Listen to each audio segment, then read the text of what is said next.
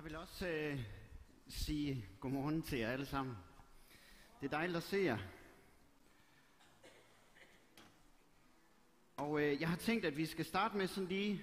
Jeg vil gerne starte med allerførst og øh, høre, hvem der har øh, været glade for at være her i den her uge. Prøv at klappe en gang.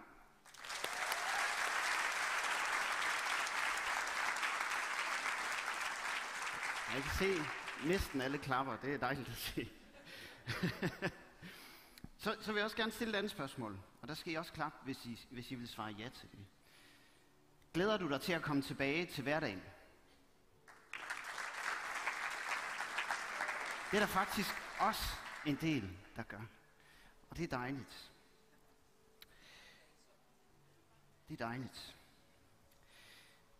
Men øh, jeg, jeg glæder mig faktisk også til, at det bliver hverdag igen. Jeg, jeg er sådan, øh, godt, man er godt fyldt op efter sådan nu. Er man ikke det?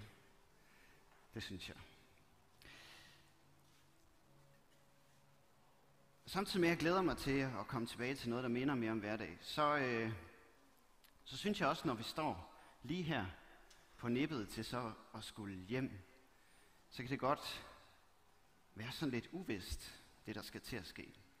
For tit så, når jeg har været på bibelcamping i en uge, på Hjalrup i en uge som den her, så øh, har Gud prikket til nogle ting i mig. Eller så, øh, så har Helligånden arbejdet med noget i mig. Og det, øh, det gør også, at, at jeg har måske et ønske, når jeg så kommer hjem, om at der er ting i min hverdag, som faktisk måske ser anderledes ud, end før jeg tog afsted. Og på den måde, så kan jeg godt sådan nogle gange føle, når vi skal hjem, så står jeg lige på nippet til også at træde ind i noget nyt, faktisk. Og i dag så, øh, så skal vi prøve at stille os sammen med disciplene. Vi skal stå sammen med disciplene et sted, hvor de også helt klart, Jesus han i hvert fald forbereder dem på, at der skal ske noget nyt. Det er, nogle, det er nogle få vers, vi skal beskæftige os med, men der hvor vi kommer ind, der, der er Jesus ved at forberede dem på, at han faktisk skal dø og forlade dem inden så lang tid. Det er jo heldigvis ikke vores situation. Men det er helt klart en ny situation, som Jesus er ved at forberede disciplen på. Og her der tror jeg allerede, at der er nogle af de disciplen, det kunne for eksempel være Peter, der, der allerede mentalt begynder at ruste sig til kamp. Begynder at gøre sig klar til, så nu skal vi bare være klar. Nu skal den bare have gas. Og sådan kan vi også godt have det, når vi så skal hjem fra Bibelgamling, så begynder vi at ruste os til kamp, når vi kommer hjem. Jeg tror også, der er nogle af disciplene, som nærmere bliver bange og frygter, hvordan i verden bliver det at komme på den anden side af det, der skal ske. Hvordan bliver det, når Jesus ikke er hos dem mere? Når de skal leve uden deres mester, deres rabbi, deres leder, deres forbillede og hyrde. Og selvom vi ikke skal leve uden Jesus, når vi tager hjem herfra, så, så kan jeg alligevel nogle gange stå med den samme oplevelse, når jeg er på vej hjem efter sådan en uge her. Hvad er det, der skal ske, når jeg kommer hjem? Måske kan du også genkende dig i det her. Den her følelse af uvidshed. Selvom vi kender måske hverdagen, når vi kommer hjem, så kan der godt være en følelse af uvidshed, når vi skal hjem herfra. Hvad skal der ske? Falder jeg bare tilbage i alt det gamle, når jeg kommer hjem? Også de ting på de områder, hvor jeg måske gerne vil forandre noget.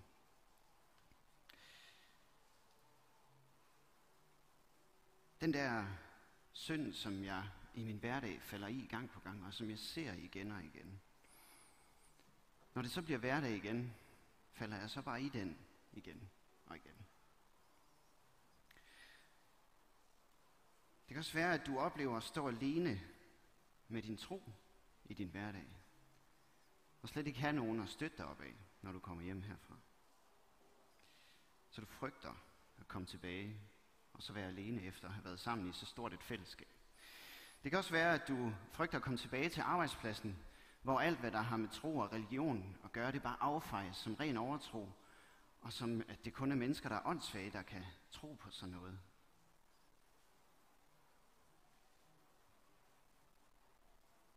Og der kan vi frygte og vende tilbage til.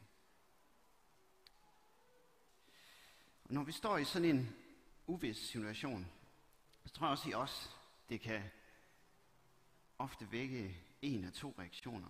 Det er også det, vi kan kalde for fight og flight. Altså, at det vækker kampgejsten i os, eller det vækker lysten i os til faktisk at, at flygte fra det, vi frygter, eller det, der er uvist. Så tror jeg, disciplen havde det i den her situation, hvor Jesus fortæller, at han skal forlade dem. Og sådan tror jeg også, at nogen af os kan have det, når vi skal hjem herfra, faktisk. Men så skal vi høre Jesus ord til disciplene, da han fortæller dem, at han skal forlade dem. I Johannes evangeliet, kapitel 14.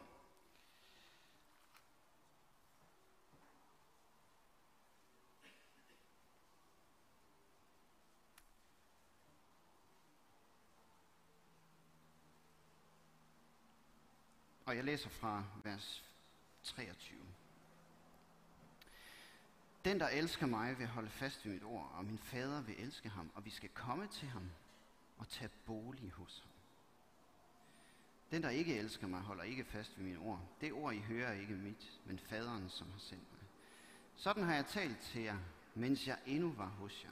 Men talsmanden, Helligånden, som faderen vil sende i mit navn, han skal lære jer alt, minde jer om alt, hvad jeg har sagt til jer.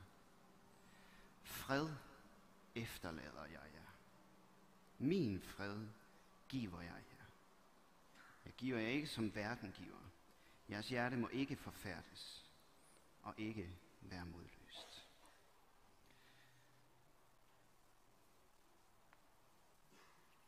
Og her er det, som jeg tror, Jesus først og fremmest gerne vil give dig og tage hjem med herfra.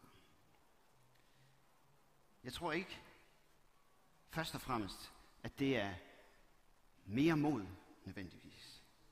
Jeg tror ikke, at det først og fremmest er kampgejst, eller at det først og fremmest er enorme livsforandringer. Jeg tror, det først og fremmest er fred.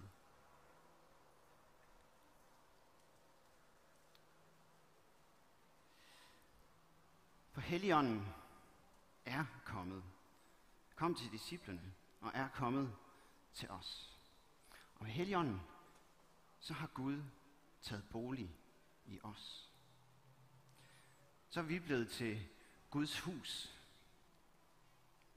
Og det er ikke sådan en feriebolig eller en uge i campingvogn, Gud han har taget på i os. Det er en permanent bolig, Helligånden har taget i os. Det er ikke sådan, at han kommer og går. Han er her. Gud er nær, har vi også hørt herinde i teltet i løbet af ugen. Gud er nær. Sidste gang vi kunne holde sådan en normal Hjallerup Bibelcamping uden begrænsninger, altså noget i 2019, der indledte Søren Røn ugen med at fortælle os, at Gud, han var lige så meget nær, inden vi tog afsted, som da vi kom til Hjallerup. Og den samme påmindelse tror jeg, vi har brug for nu, når vi tager hjem. Gud er lige så meget nær, når du tager hjem herfra, som han har været hele den her uge. Han bor lige så meget i dig, når du tager hjem herfra, som han har boet i dig den her uge, og som han sandsynligvis også boede i dig før du kom. Vi tror på, at hvis du er døbt, så har du en sikkerhed for, at Gud har taget bolig i dig, allerede da du blev døbt. Og så længe du ikke siger til ham, flyt ud, så tror jeg, at han bliver der. Så der tror jeg, du har sikkerhed for, uanset om du føler det eller ej, så bor han i dig.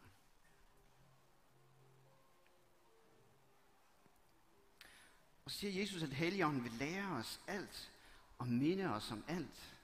Det siger han til disciplene. Helligånden vil lære dem alt, minde dem om alt, hvad Jesus har sagt til dem. Jeg tror, han vil skabe, skaber og fortsat vil skabe tro i dig. I Filipperbrevet, der formulerer Paulus det sådan, at det er Gud, der virker i os, både at ville og at gøre det gode. Det er Gud, der skaber det i os.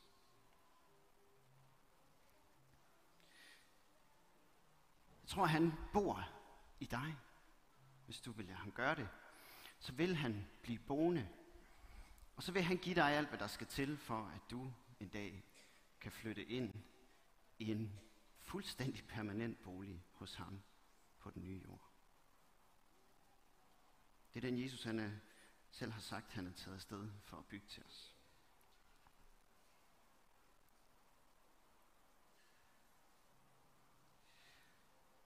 Og jeg tror, det er her freden ligger.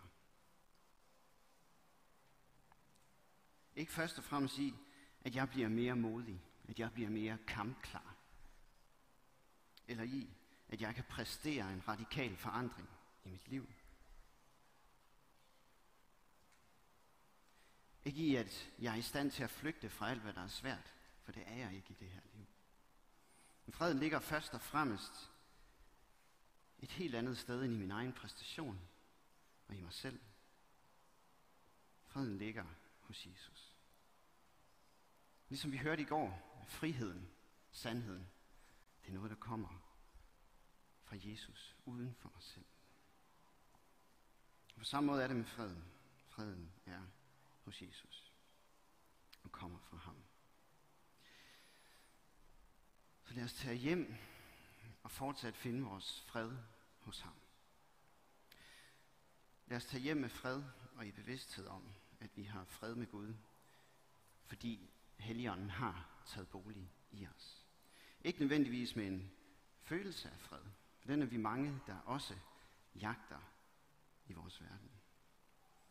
For den fred, Jesus giver, han siger selv, at han ikke giver os sådan, som, som verden giver. Den fred, Jesus giver, er ikke først og fremmest noget, vi kan meditere os til. Det er godt at meditere på Guds ord. Men det er ikke en fred, som vi først og fremmest kan meditere os til. Og kan opnå på alle mulige andre måder. En ting, som vi selv kan gøre og præstere. Det er nemlig først og fremmest en fred, som er til stede, uanset om vi oplever frygt, kampgejst, ufred, sorg, glæde, begejstring, hvad det måtte være. Så fordi freden er uden for os selv, så er den stabil. Så er den der. Vi har, fordi den ligger hos Jesus.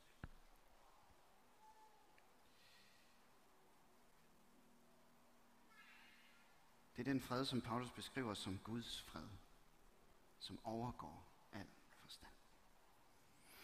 Og har du så mod på at forsøge at gøre op med den der synd, som nærer, og som Helligånden måske har, har skubbet til dig, så gør det. Så gør, hvad du kan, fordi synden er aldrig god, og har du fornyet frimodighed til at dele, hvad det betyder for dig, at Jesus er en del af dit liv, at Jesus er dit liv med andre mennesker, så er det da bare fantastisk. Så gør det. Gå hjem og prøv det.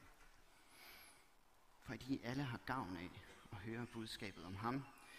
Men alt hvad du gør, uanset hvad du gør, så gør det i vidsthed om, at freden, freden med Gud, den ligger sikkert, uden for om du lykkes eller ej. Så den sikker hos Jesus. For Helligånden har taget bolig i dig. Ikke kun den her uge, men også i morgen og i overmorgen. Og på tirsdag, og på onsdag, og på torsdag, og så videre. Fordi hvis det ikke er det grundlag, du handler på, så i det lange løb, så er jeg bange for, at det faktisk ikke rigtig nytter.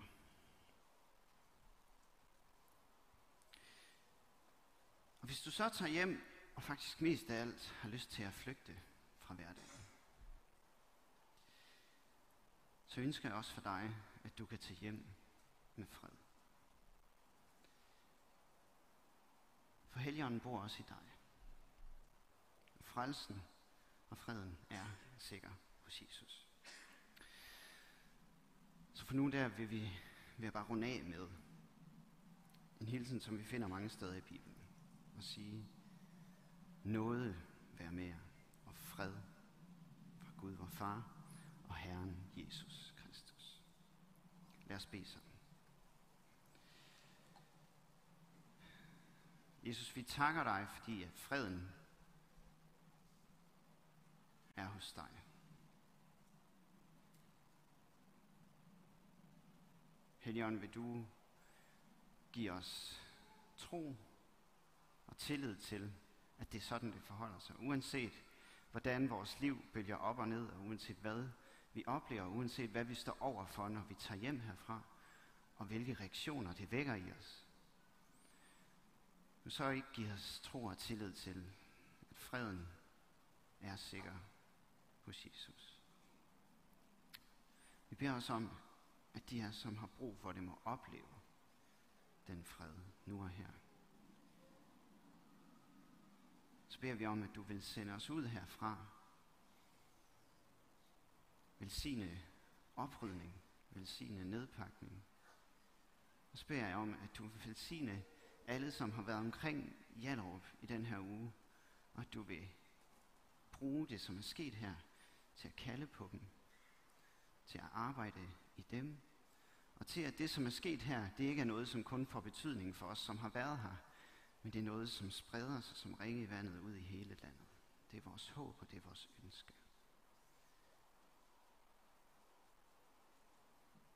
Tak, at vi har fred hos dig.